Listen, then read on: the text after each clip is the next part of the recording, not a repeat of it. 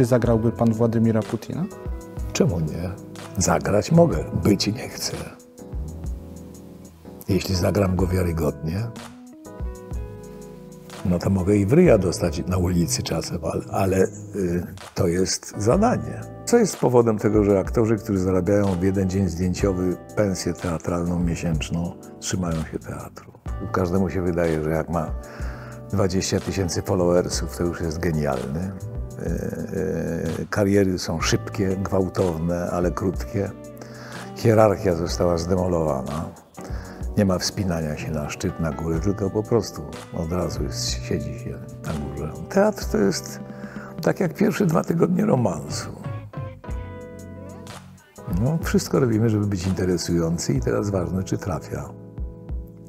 Jak jest dobry amant, to grając siebie udaje, że ma 1,70 m wzrostu, a udaje, że ma 2,17 No i jeżeli uwierzy mu partnerka, że ma 2,17 to dobrze gra. A jak źle gra, to, go, to, to jest śmieszny. Nawet w sferze uczuć już w tej chwili nasze uczucia są emotikonowe. Dwa serduszka, trzy serduszka, palec w górę, palec w dół, mina taka. Tak zaczynamy się kochać, tak się umawiamy na seks. Krótko, szybko, przyjemnie, bez komplikacji i bez głębszych w związku z tym doznań.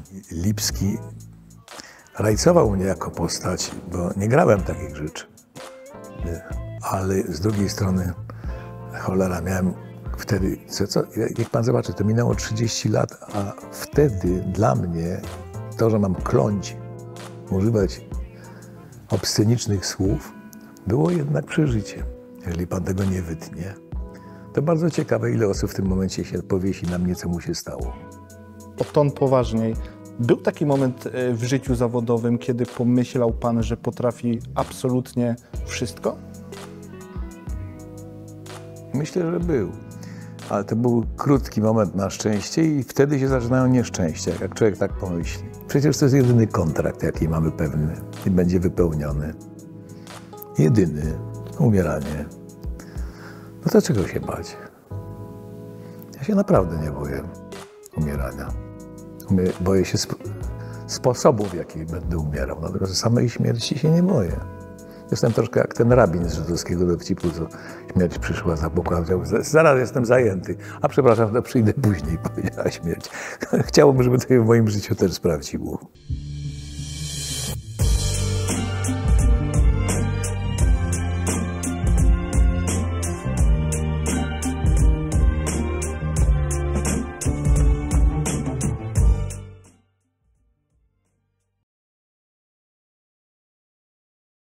Szanowni Państwo, kolejny odcinek cyklu bez nazwy, bo jeszcze nazwy się nie dorobił, być może dorobi się za czas jakiś. Bez oklasków. Książka, której bohaterem jest Jan Englert. Dzień dobry, panie dyrektorze. Dzień dobry. Człowiek, który z niesamowitą gracją przeskakuje kałuże, człowiek, który odmówił wygłoszenia wywiadu za 40 tysięcy złotych i człowiek, który, gdy dostał scenariusz Soli Ziemi Czarnej, nie zrozumiał praktycznie niczego. Wszystko się zgadza? Zgadza się. To są te e, zabawniejsze historyjki o tym człowieku, ale e, człowiek, który kolekcjonuje takie historyjki również. To znaczy, jak gdyby pamięta je i uważa, że są no, kruszonką na cieście, że ciasto nie składa się tylko z drożdży i masła, ale również i czasem się zaplącze do tego ciasta poza e, rodzynkami i jakiś brudzik też. Z racji tego, że koszula bliska ciału, a my sam do pana przyjechali ze Śląska, Bestuż e, chcę spytać o ten język śląski, jak pan się nauczył, bo No, Nie jest to łatwe. Nauczyłem się, to jest za dużo powiedziane, jak używałem. No po prostu y, tak jak się uczył troszeczkę obcego języka. Przynajmniej chodziło o intonację. A nie tylko, bo i również trzeba obcych słów się było uczyć. Tak jak przed chwilą rozmawialiśmy prywatnie, wspomnianym przez pana dżistnąć, ja e, e, haziel i tak dalej. No, różnych słów nowych zupełnie. E, Skoro już staliśmy od dżisnąć do haźla, więc Blisko. jak pan widzi, blisko. Więc, e, e, więc e, na salonach warszawskich później e, m, robiłem karierę używając gwary. Bardzo to śmieszyło wszystkich i bawiło. Ale na Śląsku nie, nie, nie, nie byłem, nikt się nie nabrał na to, że ja znam gwarę. To jest, to jest jednak dość trudna rzecz. To jest, moim zdaniem gwara jest rzeczą trudniejszą niż obcy język. Tu, e, żeby Państwa wtajemniczyć, bo prze, przed anteną rozmawialiśmy sobie o takiej scenie z Soli Ziemi Czarnej, kiedy pan profesor e, mówił do, do, do żołnierzy, do powstańców, bez mojej komendy nie możecie sobie teraz nawet dzisnąć. No i stąd to dzisnąć się wziął. A, A w kontekście, że ta, pan profesor mówił, to dopiero jest śmieszne. a teraz pan jeszcze go, go, do, poradziłby pan go dać po naszemu, czy już za dużo czasu? No, nie wiem. A o czym? Możemy sobie pogadać o czym pan chce. O czym? O czym pan chce? O wszystkim. O Erneście Polu? Ja, możemy. Roman szał po krzydle, jak krzyknął Roman przeciw bola. Ja, przeciw. Roman przeciepił, ja dup jednego ciula, dup drugiego ciula, a bal w necu. Można, można. Tego się, tego się nie zapomina, jak jazdy na rowerze. E, Panie profesorze, tak już o ton poważniej. Był taki moment e, w życiu zawodowym, kiedy pomyślał pan, że potrafi absolutnie wszystko? Myślę, że był. Ale to był krótki moment na szczęście i wtedy się zaczynają nieszczęścia, jak człowiek tak pomyśli. Jeżeli człowiek jest przekonany, że wie wszystko, to dotyczy nie tylko zawodu, to dotyczy w ogóle polityki, życia. Kiedy e, zadowoleni jesteśmy z siebie i z tego, co potrafimy, chyba zaczynamy gnić powoli w tym zadowoleniu. Na szczęście miałem szczęście olbrzymie, bo wtedy, kiedy zacząłem gnić, zmieniły się priorytety, nie tylko zawodowe. W 80 roku zacząłem uczyć jako profesor, jako pedagog w szkole, wybuchła Solidarność. E, e, tego samego roku. I, i, I to w ogóle wszystko przewróciło moje dotychczasowe mm, e, jakby hierarchię tego, co jest ważne. Zdemolowało. Przestałem się zajmować tylko sobą. Zacząłem się zajmować innymi również. I odkryłem wówczas coś, co tam chyba wspominam o tym w książce, że, że pewnego rodzaju spokojem życiowym i rozwojem życiowym mm, y, jest sytuacja, w której znaj- znajdziemy przynajmniej w przybliżeniu równowagę między braniem i dawaniem. Nie można tylko brać, nie można tylko dawać. Jeśli to się mniej więcej zbilansuje, wtedy jesteśmy, zaczyna się nagle wszystko układać. A więc inaczej na- mówiąc, myślenie nie tylko o sobie. W czasach internetu to jest coraz rzadsze. W tej chwili ja, zaimek ja, jest rozbudzony w niezwykły sposób. Każdemu się wydaje, że jak ma 20 tysięcy followersów, to już jest genialny. E, e, Kariery są szybkie, gwałtowne, ale krótkie. Hierarchia została zdemolowana. Nie ma wspinania się na szczyt, na górę, tylko po prostu od razu jest, siedzi się na górze. Nie wchodzi się na drabinę, tylko drabinę się przewraca. Wchodzimy na szczyt, stawiamy sobie drabinkę. Oczywiście to są takie e, efekciarskie troszeczkę spostrzeżenia, ale one są mm, po tylu latach życia zawodowego i w ogóle życia. No, gdzieś przychodzi taki moment, że zaczyna człowiek widzieć. Widzieć to nie znaczy wiedzieć. Nie mylmy tych dwóch rzeczy. Odwrotnie, z wiekiem przychodzi, tak sądzę, przychodzi no, pewnego rodzaju hamulec bezpieczeństwa w postaci wątpliwości, czy się ma rację. Dlatego tak starcy krzyczą, żeby się nie wydało, że mają rację. Nie jestem pewny wszystkiego, co mówię, że mam rację. Ale już jak mówię, to musi to brzmieć tak, jakbym miał rację. To dotyczy też naszej rozmowy. Rozumiem Hemingwaya, który palnął sobie w łeb, kiedy poznał, że skończył się jako facet. Myślę, że mnie w razie czego by ręka nie zadrżała. Pan często myśli To o nie jest kokieteria. Ja po prostu mam. To, to, ale to głupio o tym mówić. No. y. Też w książce to jest. Mnie od pewnego czasu w moim życiu bardziej mi zależało na szacunku niż na miłości. I y, walka o, o, o, o na to, żeby dalej płynąć, trzymając się burty, wtedy, kiedy już się nie jest pełnosprawnym człowiekiem, a szczególnie intelektualnie. Bycie ciężarem dla innych w moim pojęciu jest no, y, czymś, co odbiera szacunek. Mam w swoim życiorysie mojej rodziny przykłady, że osoby, które bardzo szanowałem mm, przy ciężkim Alzheimerze, ja teraz jak przypominam sobie, to jednak najpierw pamiętam tę, katastrofę, a dopiero potem przypomina mi się wartościowy człowiek. Nie chciałbym e, stracić świadomości. Ja mam takie hasło, że umrę zdrowy. Ale mówi pan, pyta mnie pan o eutanazję? Uważam, że tak. Jeżeli już o to panu chodzi, to jestem zwolennikiem e, świadomej, niewymuszonej, prawdziwej eutanazji. E, Nie rozumiem moich kolegów w moim wieku, którzy zarabiają na starość. Mając 80 lat, mówią, że oni muszą, muszą zarabiać na starość. Na jaką starość? Odpychają od siebie świadomość tego, że już są starzy i że powinni się cieszyć, że funkcjonują intelektualnie przede wszystkim, bo fizycznym, fizycznie to, to nie chodzi o fizyczne rzeczy, raczej o intelektualne, o świadomość, umiejętność jeszcze konstruowania myśli, e, przyglądania się światu, uczestniczenia w, w życiu publicznym, empatii wobec innych i tak tak. Póki to mamy, jest sens. Jeśli tego nie ma, Przecież to jest jedyny kontrakt, jaki mamy pewny i będzie wypełniony. Jedyny. Umieranie. No to czego się bać? Ja się naprawdę nie boję umierania. Umie- Boję się sp- sposobów, w jaki będę umierał. Natomiast samej śmierci się nie boję.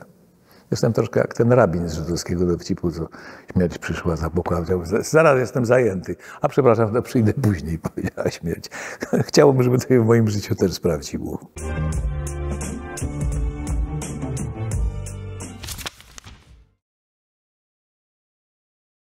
Wojciech Kuczok, znakomity śląski pisarz, laureat Nagrody Nike za książkę Gnój Wiem, powiedział, wiem że... kto jest pan Kuczok. E, ale to Państwu też tłumaczę, którzy oglądają, żeby bawić i uczyć. Tak. No takie powiedzenie, bo w jego rodzinie też kilka osób e, zachorowało na Alzheimera i on mówi, Panie Boże, byleby w zdrowiu dożyć Alzheimera. No, nie życzę mu tego. Niech żyje, w, niech, użyje, niech żyje w zdrowiu do końca. A koniec nieważne kiedy będzie. Skoro już wywołałem temat literatury, e, powiedział Pan w, w książce, z wiekiem człowiek zwraca się ku realiom albo ku historii. Fabuła opowiedziana nawet w najciekawszy sposób już mnie tak nie fascynuje. Jakie książki Pan czyta? Gdzie, jaka ta kubka wstydu przy łóżku? Pierwsze zdanie w tej książce, pierwsze pytanie pada, czy będziemy mity, czy prawdę. Mity są ciekawsze. Jako twórca nie mogę być przeciwnikiem mitów, ale jeżeli się zdecyduję na, na pewnego rodzaju mówienie o sobie, to już nie nazywajmy tego zwierzaniem się, ale mówienie o sobie, no to uważam, że mity, które wokół siebie nabudowałem w życiu, też trzeba odczyścić troszeczkę, zbliżyć do prawdy. Jak wiemy, prawda jest bardzo subiektywna i to samo zdarzenie opowiadają dwaj ludzie w kompletnie inny sposób. Jeżeli ma się świat, ja w tej chwili próbuję odcedzić świadomość efekciarskich opowieści ze swojego życia od tego, jak to wyglądało naprawdę. Taka próba w tej książce jest. Sam się wstydzę niektórych konfabulacji, których używałem wiele lat, bo były efektowne, a nawet efekciarskie. One zawsze miały jakiś element prawdy. To nie było wymyślone całkiem. Nie byłem baronem Milhausenem, ale, y, ale jednak w miarę upływu opowiadania tych anegdot, one puchły, robiły się coraz śmieszniejsze, coraz ciekawsze albo coraz bardziej dramatyczne. I bardzo ciężko jest później odgrzebać, nawet dla siebie samego, jak to naprawdę wyglądało. To dotyczy nas wszystkich, wszyscy to robimy. Niektórzy świadomie, niektórzy nie. że mamy swoją wersję zdarzeń. Zwykle na każdy grzech szukamy, ma, ma, bo już nie, nawet nie szukamy teraz, to już jest normalne. Na każdy grzech mamy alibi. No bo to pomaga w, w radzeniu sobie z samym sobą. Zrobiłem to. No, politycy w tych na przykład, no dobrze, dobrze, mówicie, że my kradniemy, ale wyście kradli więcej. No więc to jest argument alibi na, własny, na własną kradzież, że tamci też kradną. No to jest jednak nie w porządku. Ja staram się w moim wieku i w tej książce też nie usprawiedliwiać ni- niczego, ale nie krytykować i nie, nie wydawać wyroków, bo to jest za łatwe. Jakie książki czyta Jan Englert? W tej chwili głównie dramaty, niestety. A po pracy? Parę dramat, tak, no przecież ja parę dostaję pro, propozycji różnych i staram się czytać nawet grafomanię, która przychodzi. Oczywiście skłamię, jeśli powiem, że do końca. Ale muszę, no muszę to, jeśli pan chce e, bardzo szczerej odpowiedzi, jedyna rzecz, którą czytam przez 60 lat, oczywiście po łebkach, ale czytam, to przegląd sportowy. Od dzieciństwa. I już mam taki nawyk, że nie umiem nie kupić, nie kupić przeglądu sportowego. Przynajmniej tam są wiadomości wyłącznie prawdziwe. No i też przekrój, z którego jedno zdjęcie zostało wycięte i było często noszone w portfelu. O mnie pan mówi? Tak. Ja Brigitte przekrój? Chyba nie, nie. Brigitte Bardot. Zdję, zdjęcie Brigitte Bardot. A, to, a może tak z przekroju. No było to, to sięgnął pan do takiego mało znaczącego epizodu, do, do wieku dorastania i pierwszych zmas nocnych. Ale to jest tak dawno, że już nieprawda. Znaczy to dlatego, odpowiedź od Brigitte Bardot była dlatego, że, że tam w pytaniu jest inne nazwisko, a ja musiałem wyprostować, że nie, nie ta pani, tylko ta pani. Z perspektywy czasu, czy bardziej wstydzi się pan przyjęcia talonu na ładę, czy wręczenia łapówki milicjantom za Przede wszystkim po... y, chciałbym, żeby pan od razu chciałem przy okazji pewną rzecz wyprostować. E, nic mnie tak nie wkurzyło w związku z pojawieniem się tej książki, jak właśnie, ja tam mówię nie, nie głupie rzeczy też, ale pierwsze zajawki, być może nawet to zrobiła redakcja, nie wiem. Przeczytałem o sobie, że daję łap- łapówki jeszcze po pijanemu, że umiera mi dram, dramat aktora, bo ma tętniaczka, że y, y, y, przyjął talon na ładę, więc wyjęte wszystko, co jest efektowne dla słuchacza i widza na poziomie y, y, prasy plotkarskiej. A więc szukanie skaz, grzechów, nieszczęść, tego, że ktoś, kto odważył się napisać książkę, ma jednak y, też w życiorysie nieładne rzeczy. Ta łapówka to jeżdżenie i ta łada, jak pan, y, brzmi to jeden do jednego, jest opowi- opowiadana z poczuciem humoru i prawdziwie, zgodnie z prawdą. Nie dawałem, mnie wypadły pieniądze z ręki, jak pan pamięta. I zostałem w związku z tym, a byłem u szczytu popularności. To była jedyna, w którą ja zakwalifikowałem, jedyna łapówka, jaką dałem w życiu, ale niechcący zupełnie i, i, y, było to w roku dokładnie w związku z tymi sytuacjami w różnych gazetkach i portalach. Ja nienawidzę internetu, to wszyscy wiedzą, mogę powtórzyć. Nie, nie, nie znoszę internetu, dlatego że internet doprowadził do całkowitego upadku kryteriów etycznych, wartości. Ilość wygrywa z jakością, do upadku jakości, braku szacunku dla umiejętności. To są akurat dwie rzeczy, które dla mnie są najmniej ważne w całej książce, ale oczywiście rozumiem, że one najbardziej interesują przeciętnego czytelnika. Nie ma w tej książce niestety, nie ma ani jednej ploteczki spod kołdereczki, a to by pewnie, gdybym to opisał, to bym miał duże branie jako literat, ale tego nie zrobię nigdy. Ja byłem wychowywany na wstydzie. Przełamywanie wstydu było elementem twórczości. Że jednak cierpie, nawet cierpienie trzeba chować dla siebie samego. Sukces też. Nie epatować sobą nikogo. Tak mnie wychowywano. I tak moi mistrzowie również budowali rolę w teatrze. Na wstydzie. Nie gwałt jest interesujący na scenie, tylko relacja zgwałconej. Jest, jest elementem dramaturgicznym. A w tej chwili jesteśmy w piśmie obrazkowym, w związku z czym robimy gwałt. No to co? No przecież uwierzymy też, że co wieczór aktorzy gwałcą aktorkę na scenie, przecież niemożliwe.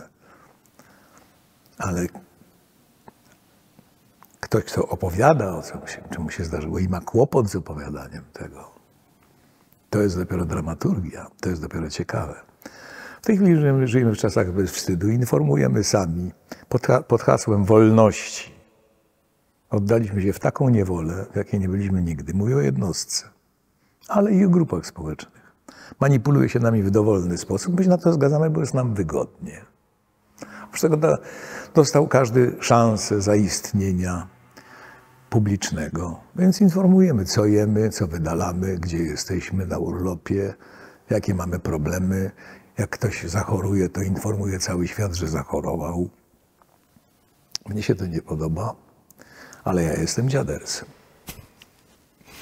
Czy ten wstyd objawia się też na scenie, ale po spektaklu, że pan nie lubi wychodzić do ukłonów, bo tak, wtedy już znaczy nie jest nie pan lubię. rolą? No nie robię to, bo muszę, bo to jest wpisane w konwencję, ale domo, to jest właśnie na tym jest chyba cała różnica, że, że w moim pokoleniu mówiło się, że aktor może zagrać żebraka i króla, to znaczy musi wejść na tyle prawdziwie w żebraka i w króla, żeby był wiarygodny. A w tej chwili raczej, czy gra żebraka, czy króla, to gra siebie, swoimi, siebie, pakuje rolę w siebie. To samo tyczy ukłonów. Ja, ja kłaniam się, to już jestem prywatny, już te, te wstydy takie, że to nie ja, że to koledzy, że, że dziękujemy Państwu, że Państwo byli wspaniali. Nie, y, to już jestem ja. To już nie jest moja postać, którą ja zbudowałem, stworzyłem. Dopóki gram, stać mnie na wszystko. Kiedy prywatnie już się chowam. No, y, to jest kwestia, no, y, sądzę, pokoleniowa. W tej chwili już, już, już czegoś takiego nie mamy. No nie wstydzimy się w zasadzie niczego. A ja się wstydzę wielu rzeczy.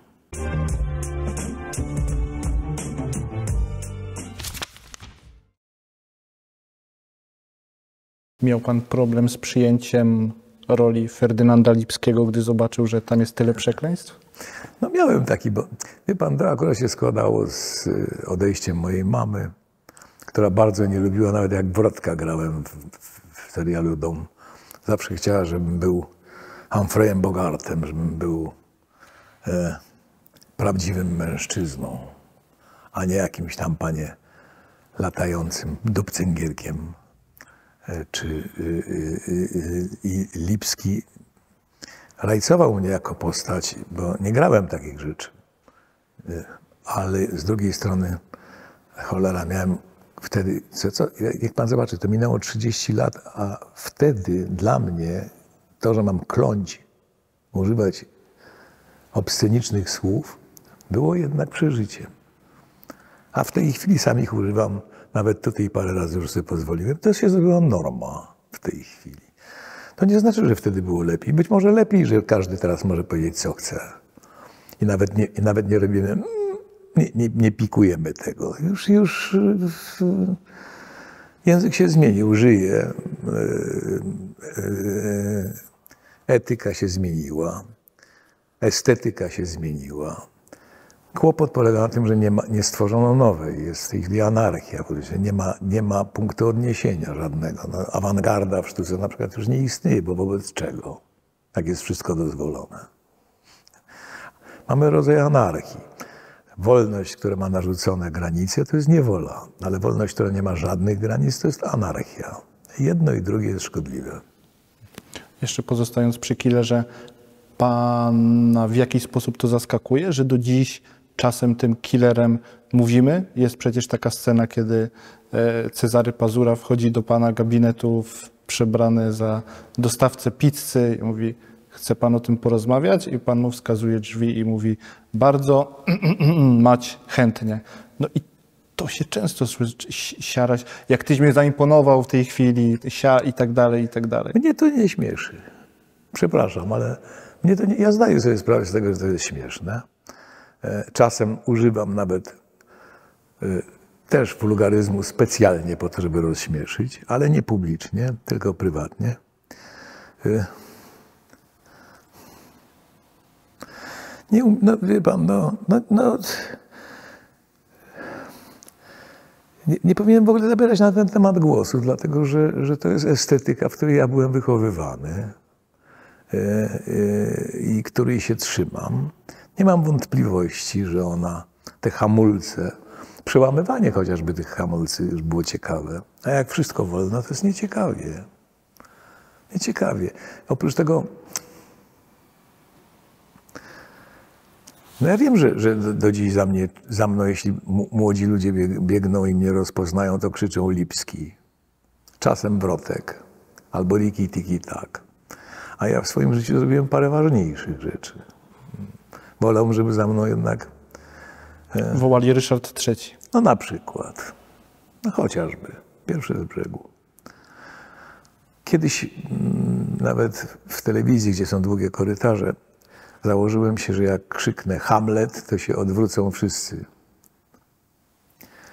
Bo wszyscy, wszyscy nosili Hamleta w plecaku. No teraz nie wiem. Teraz jakbym krzyknął Kiepski, to się odwrócą wszyscy. Przy czym to nie jest, y, ja nie hieratyzuję, nie mówię, że tam to lepsze, to gorsze. Jest inaczej. Jest inaczej. To, co mi się nie podoba w tej chwili, to jest brak szacunku dla umiejętności. I tu nie chodzi o, o tych, którzy są lepsi czy gorsi, tylko są tacy, którzy coś potrafią i są tacy, którzy powinni się uczyć od tych, którzy coś potrafią. A po co się uczyć, jak wszystko wiem? Upadek rzemiosła, nie tylko w zawodzie, który uprawiam, ale w ogóle rzemieślników zaczynamy nie mieć. Rzemiosło umiera. Sami artyści. W normalnym układzie z tysiąca rzemieślników czasem się rodzi jeden artysta. U nas w chwili z tysiąca artystów czasem się rodzi jeden rzemieślnik. I rzemieślnik jest słowem pejoratywnym, negatywnym, a rzemiosło, umiejętność jest podstawą. Podstawą. Praca organiczna to jest podstawa a reszta to już są tylko dodatki. Jeśli byśmy przywrócili szacunek dla umiejętności, mówię o całej cywilizacji, nie tylko o Polsce, no myślę, że wtedy wiele, wiele błędów, wiele nieporozumień i wiele, i wiele y, katastrof, które nas tyczą, mm, byłoby skasowanych, nim, nim by do tego doszło. Gdybyśmy umieli, a nie myśleli, a nie myśleli że umiemy. Więc y, y, z tym, że czy to jest do zatrzymania, nie wiem. Nie mam pojęcia. Powiedział pan w książce, jeśli jest się człowiekiem ambitnym, zwycięstwo staje się czymś naturalnym. Co jest dla pana największym zawodowym zwycięstwem? Choć powinienem z teraz panem w tej dodać, chwili rozmawiam, że mam tyle i tyle lat, a pan chce ze mną rozmawiać. To jest zwycięstwo. To, że, że, y, y, że się utrzymuje cały czas na, na fali, 60 lat już, e, pracuję i nastąpiły różne wymiany i konwencji, i, i, i, i ustrojów, i polityki, i niegodziwości, i skali niegodziwości, a mnie się udało jakoś do dzisiejszego czasu jeszcze mieć coś do powiedzenia i bronić czegoś, albo, bo raczej wolę bronić niż atakować. Jestem za kompromisem, mylonym z konformizmem. Kon- Nie jestem za konformizmem, ale bardzo wiele, wielu, zwłaszcza w tej chwili tych, którzy mają jakąś władzę, używa słowa kompromis w stosunku do czegoś, co jest konformizmem, bo konformizm to jest kompromis użyty dla moich interesów, dla moich korzyści, a kompromis służy sprawie. Ale ponieważ w tej chwili myślimy, że jak coś jest nie w zgodzie z moim. To jest bardzo piękne spostrzeżenie, mówię w internecie. My wszyscy w internecie szczególnie, ale w ogóle i w życiu, za prawdziwe uznajemy te wiadomości, które są zgodne z naszym zdaniem. Wszystko, co jest niezgodne z naszym zdaniem, jest fejkiem. Więc ten obiektywny sąd jest bardzo trudny w tej chwili. E, staram się być obiektywny, ale czy jestem? Nie wiem. Staram się.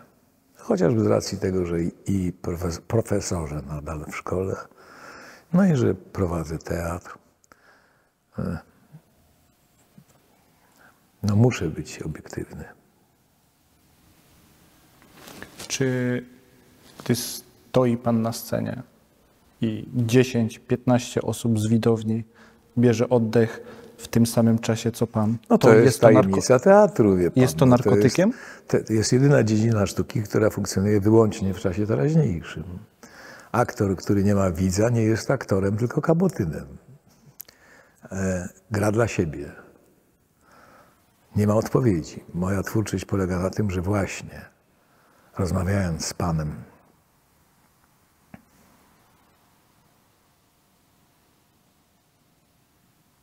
No ile wytrzyma taka cisza? Użyta przeze mnie chwili celowo. Jeżeli Pan tego nie wytnie, to bardzo ciekawe, ile osób w tym momencie się powiesi na mnie, co mu się stało. A więc to jest ten rodzaj władzy jakiś, jaką się ma przez chwilę nad odbiorcą.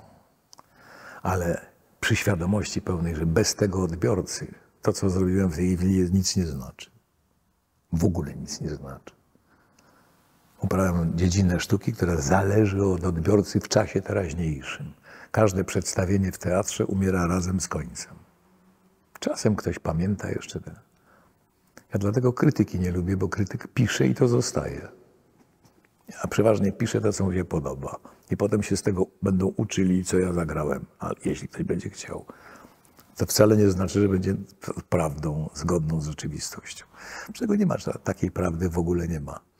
Więc jak y, pan widzi, co, co nie powiem, to sam poddaję to wątpliwości. W ten sposób przez całe życie żyję, że nawet jak coś powiem autorytatywnie, to się zastanawiam, czy na pewno mam rację. Nie jestem przekonany, mam wątpliwości, a wątpliwości osłabiają. A można się uzależnić od tego, rządu dusz, stojąc na scenie? Ja myślę, że jest rodzaj e, uzależnić, może nie. No ale co jest powodem tego, że aktorzy, którzy zarabiają w jeden dzień zdjęciowy pensję teatralną miesięczną, trzymają się teatru? No właśnie chyba to. Że tylko w teatrze mają natychmiastową odpowiedź na, na to, co, na swoją twórczość. I wiedzą, czy trafili, czy nie trafili. Czy to zainteresowało, czy nie zainteresowało tylko w teatrze. To jest troszeczkę tak jak, wie pan, teatr to jest tak jak pierwsze dwa tygodnie romansu. No, wszystko robimy, żeby być interesujący i teraz ważne, czy trafia. Jak jest dobry amant, to grając siebie udaje, że ma 1,70 wzrostu, a udaje, że ma 2,17. No i jeżeli uwierzy mu partnerka, że ma 2,17, to dobrze gra. A jak źle gra, to, go, to, to jest śmieszny dla niej. Więc, więc y, podobnie jest i z rolami, czy z naszą pracą w teatrze. Jak się nadymam na coś, to może być wiarygodny. Jak jestem niewiarygodny, to mam porażkę, jestem żałosny. I to jest weryfikacja natychmiastowa. Z niej nic nie wynika, szczerze powiedziawszy, ale jest weryfikacja jak się panu romans nie uda, no chwilę pan pocierpi i zabiera się pan za następny. No. Co oznaczają słowa Kazimierza Dejmka, który mówił do aktorów, ty nie graj, ty się, ty zachowuj. się zachowuj. To znaczą to, co... Yy, jeżeli widać szwy, że ktoś coś udaje, wróćmy do romansu. Jeśli dziewczyna, którą, której staram się przedstawić jako najlepszy, widzi, że ja to gram, że to udaje, że naprawdę mam, jestem słaby, a udaje silnego, to znaczy, znaczy że, że gram. A mam być tak zachowywać, jakbym był naprawdę silny, to znaczy nie udawać tego, tylko być silnym w tym momencie.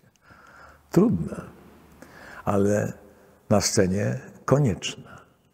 Muszę być wiarygodny. A skoro wiarygodny, to nie może być dać widać szwów e, budowania tej kreacji, bo to jest kreatywne. Zawód aktora jest zawodem artystycznym, czyli twórczym. Jednak, mimo że się go ustawia, że nieprawda, bo tylko gra to, co ktoś tam wymyślił. Nie, nie. Na pewno twórczy. Jeżeli jest wiarygodny. Wie pan, różnica jest taka. W filmie, jak potrzebny jest kulawy koń, to na casting przywozimy 10 kulawych koni. I wybieramy takiego, który najefektowniej kuleje. Raz to filmujemy i do widzenia. W teatrze ten koń musi na odpowiednim momencie, w odpowiednim czasie i wejść, zakuleć i tak. A więc musi, nie może być prawdziwie kulawym, który nie wie, dlaczego kuleje. A y, w teatrze, jak potrzebna jest rola kulawego konia, to bierzemy zdrowego konia, który wiarygodnie kuleje. Skoro przy koniach, na czym polegają Pana konszachty z Panem Bogiem? Moje konszachty?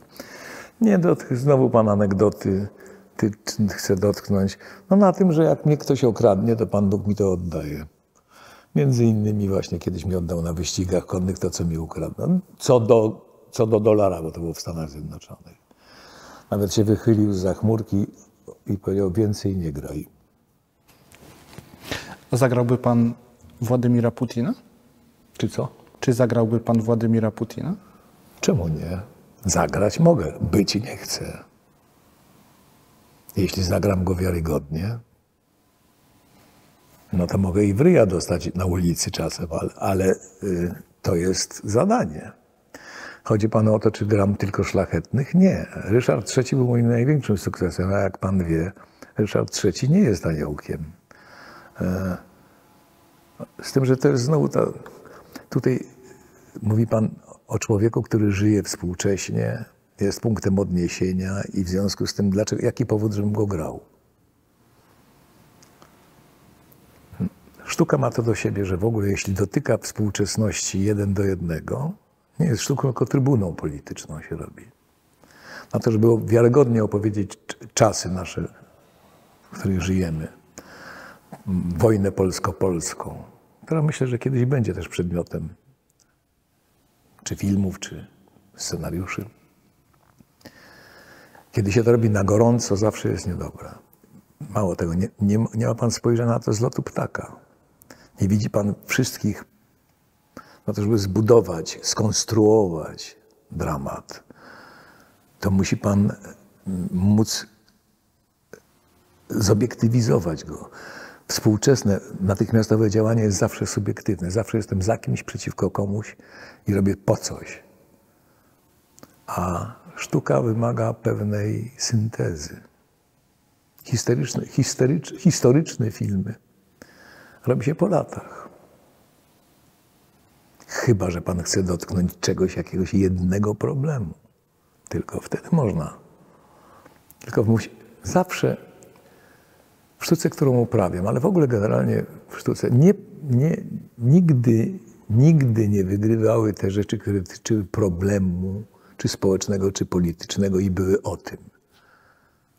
Tak naprawdę interesuje nas tylko człowiek, zdeterminowany przez działania polityczne, społeczne, ale człowiek i jego sposób odbierania tej rzeczywistości, a nie rzeczywistość, w której funkcjonuje. Wracamy znowu, powiedzmy, do gwałtu. No nie gwałt, tylko relacja zgwałcona jest ciekawsza.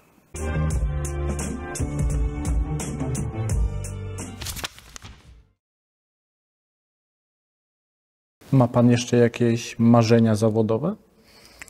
Ja nigdy nie miałem marzeń, ja mam cele, e, które próbuję wykonać. No, myślę, że mam. Oczywiście jedną taką rzecz, teraz wiedziałbym, bo już grałem, ale wiedziałbym teraz, jak zagrać króla Lira. E, jestem Lirem.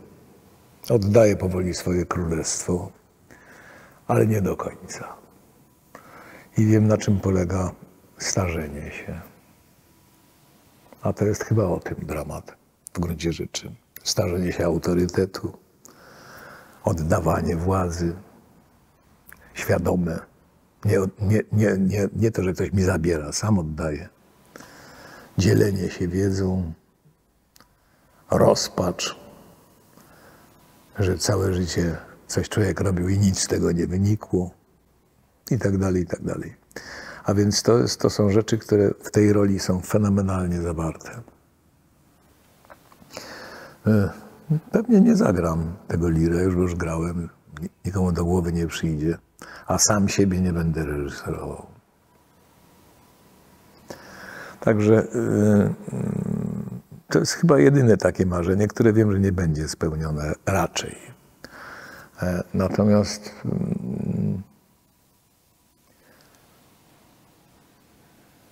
nie, już trudno mieć marzenia w tym wieku. Ja już tylko patrzę na mojego psa i mówię, cholera, ty możesz mnie przeżyć. Oczywiście to wynika z mojego stosunku do, do, do, tego odchodzenia. To jest fantastyczne. Miałem fantastyczne życie. Uważam, że moje pokolenie w ogóle to jest najszczęśliwsze pokolenie w historii tego kraju na pewno. Przeżyliśmy wszystko. Jako osesek i mało lat przeżyłem wojnę nawet w całym tego słowa znaczeniu. Brałem, w czasie powstania warszawskiego byłem w Warszawie. Potem po powstaniu były wszystkie zdarzenia. Stalinizm, odwilż, 68 rok, 76, Solidarność, rozczarowanie Solidarnością, wolność, demokracja, pseudodemokracja, e, a wszystko jednak bez wojny. To jest najdłuższy okres w historii tego kraju bez wojny.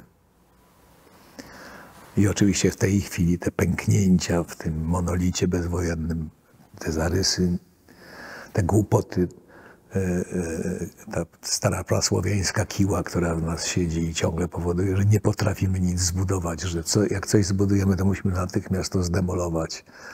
E, świadome życie, świadome życie w tym, w tym okresie między 40, powiedzmy 8, bo tak już zacząłem kojarzyć troszkę, między 48 rokiem ubiegłego wieku, a 22, a prawie już trzecim XXI wieku, to jest, niezwyk, to jest niezwykła ewolucja i rewolucja e, w rozwoju cywilizacji i miejsca naszego, naszego tutaj, na tej między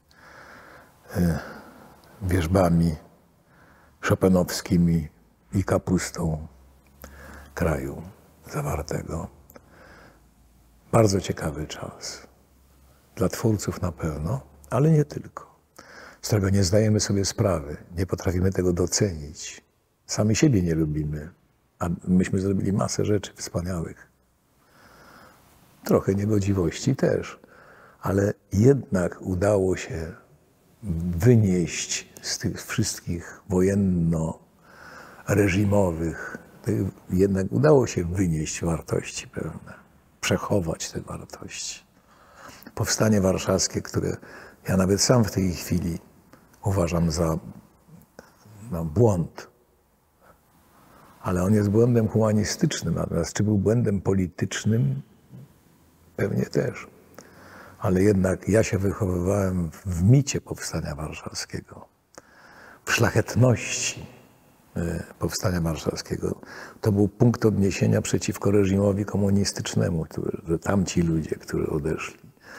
E, myślę, że emocjonalnie i moralnie to miało olbrzymie znaczenie.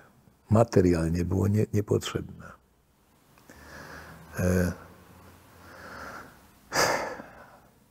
I teraz niech każdy sobie wybiera odpowiedź na to w jaki sposób trzeba to gloryfikować, czy trzeba to atakować, a może po prostu przyjąć to normalnie.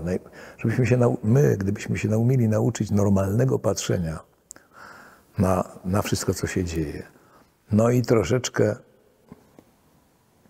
empatii wzajemnej i nie zbyt łatwego usprawiedliwiania własnych grzechów. Jednak trzeba się umieć przyznać do tego, że jak kradnę, to kradnę, a nie dlatego, że inni kradną. To nie jest żadne usprawiedliwienie. Żadne najmniejsze. Ja. Jeżeli popełniam niegodziwość, to to jest moja niegodziwość, a nie, bo inni też są niegodziwi. No ja wiem, że to brzmi jak kazanie katechety, ale, mm, ale chyba w to wierzę że, że to jest jakiś sposób na No na to, żeby być, żeby w miarę możliwości trzymać równowagę w swoim życiu również. Nie tylko, nie, nie, przede wszystkim tak, nauczać, a nie pouczać. Jeżeli nawet coś umiem.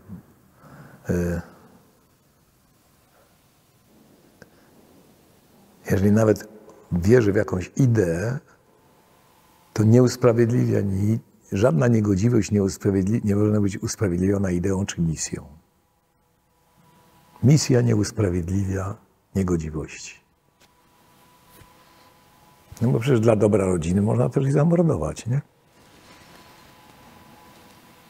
Panie profesorze, na koniec, gdyby spotkał Pan siebie, dwudziestoletniego Janka Englerta, jakie Pan dałby mu rady? Co by Pan mu powiedział?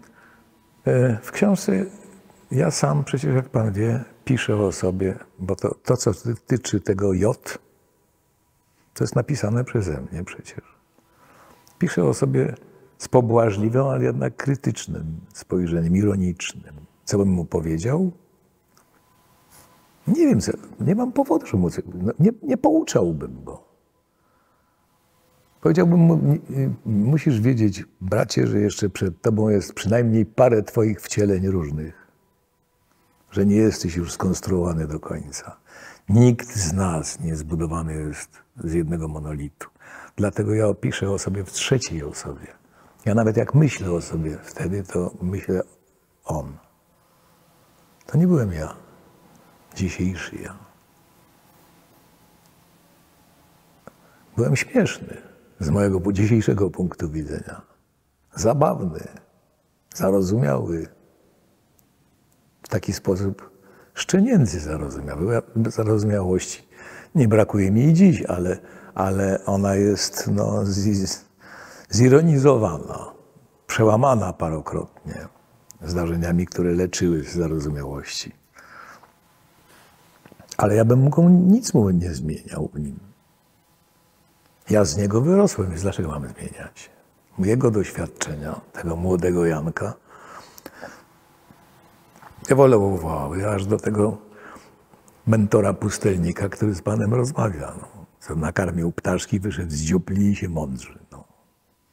To jest y, z czegoś to karmienie i wejście do dziupli wynika razem z wszystkimi błędami i wszystkimi sukcesami tamtego J. To nie jest tak, że się odcina coś, że, że spowiedź nas rozgrzesza. Guzik, prawda? Dla mnie to jest właśnie to, że jeżeli uważam, że dostałem rozgrzeszenie i mogę dalej robić to samo, to to jest błąd. Intelektualny błąd.